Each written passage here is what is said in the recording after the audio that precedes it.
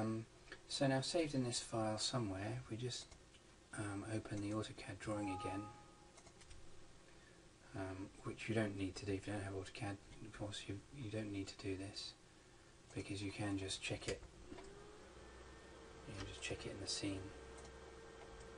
There. But looking at the AutoCAD drawing again,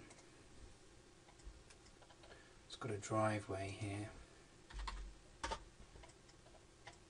a spot height at 6 metres at the top and it's coming down to 4 metres here, this bottom edge down here.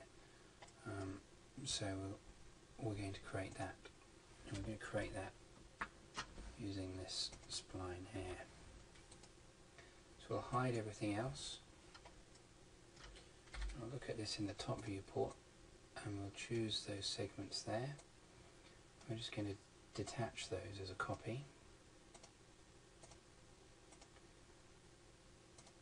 I'm not going to bother giving it a name because I'm lazy and also because um, we're going to attach this to something else in a minute so it's not worth it. Um,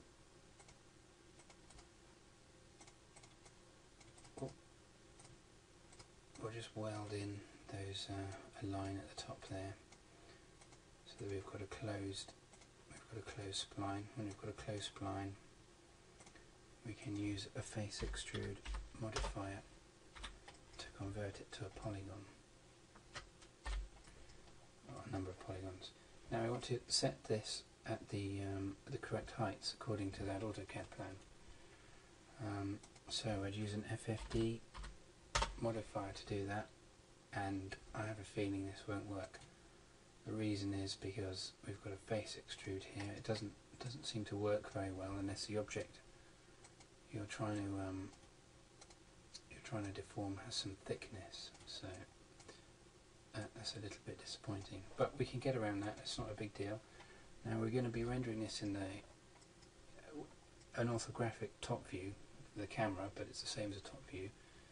So we'll put a shell on this driveway object and as long as we put it at the bottom it doesn't matter what it is.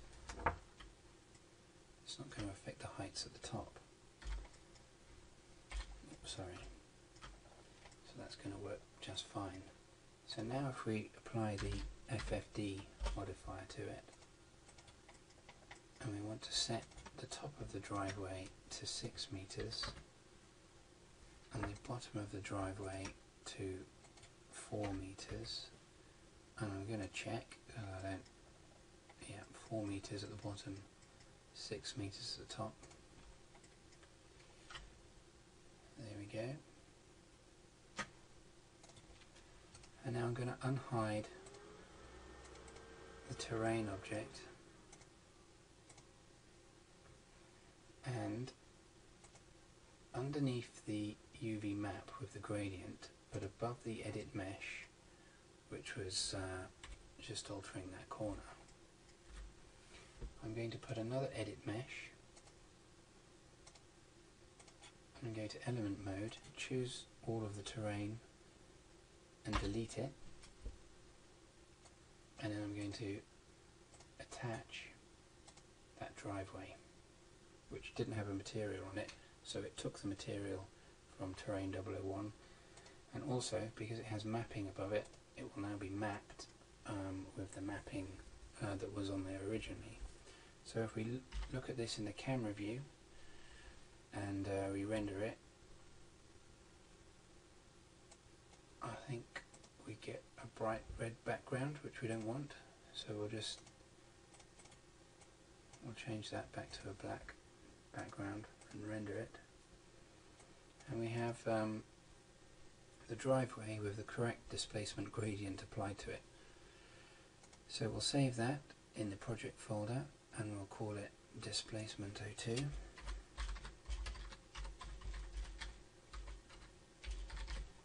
And again I'm going to save it as a targa with an alpha channel.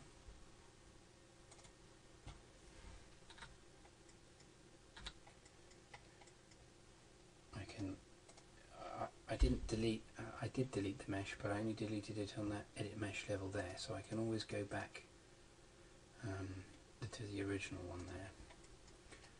Um, unhide displaced mesh 01 which remember is being displaced with this map here. So if we open the material editor, we drag that over to an empty slot as an instance, and I'm going to change it from bitmap to a composite, but I'm going to keep that old bitmap as a submap, and then I'm going to add a new layer and that layer is going to be a bitmap and I'm going to choose displacement 02 and you can see it has immediately cut that out of um, the terrain. And this point here will be at 4 meters and this point here will be at 6 meters. Now, this is a big advantage that this displaced mesh method has over the terrain object because it has a lot of things that I can quickly change now. I can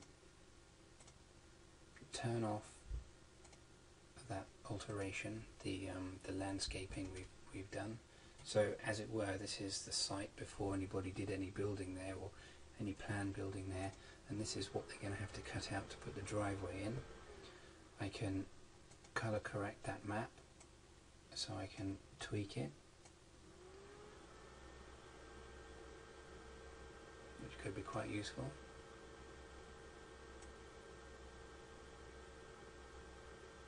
You might think well maybe that's working better I don't know. We'll have to see a bit later on when we've got the house in. Um, so you've got some adjustments there. You've also got I mean, we're using contour data that was uh, took um, photogrammetrically. Photo, I confused myself there. It was photogrammetry though, which captured that, captured that original um, contour data there. So we kind of want that to be accurate. But if if you weren't bothered about that, you know, you can then you can quickly change the, the, the displacement of your of your terrain. Um, and whilst we're doing that, if I just show you with the edges on, you'll see in the top you get a nice consistent sort of mesh density but it's, it is getting stretched when you look at it in the side viewport. So if you had a, uh, we, we don't need to do it with the um, with our scene, but if if you if you did have quite a an extreme displacement there, and you were using I don't know perhaps um, V-Ray displacement to put a rock texture on there, which would which would actually I find work better with a, um, a fairly consistent mesh. You could put a, a subdivide on there, and that would keep you know, that would keep the mesh a little more constant, which you might find useful. But like I said, in this case, we're not we're not displacing it that much, just 8 meters. We don't need to bother doing that. Um, so the other advantage is you can go, you can you can turn it all off. You can go back down to the plane. You can make this twice as dense.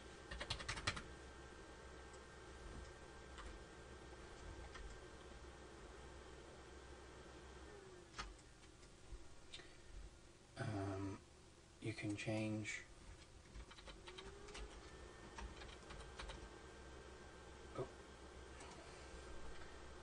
change the size here for example if you needed to fit it within something else. Um, I think it's just it's basically a lot more flexible than the um, terrain compound object and of course we're just using two layers here but what we're going to be doing a bit later on is um, layering on different um, uh, alterations to the terrain. We're going to be doing all of that in the material editor and um, what I often use it for at the office is for trying out different options. So you can you can show them this is with it off, this is with it on. You can you can have a number of different options there that you can show people. Right, so I think the next stage will be to bring um, XREF in the um, the model of the, the house that's going on here, um, and then see what other alterations need to be made to this.